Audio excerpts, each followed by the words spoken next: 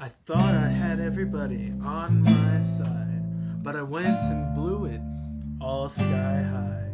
And now she won't even spare me a passing glance, all just because I ripped my pants when Big Larry turned around to put him down. SpongeBob turned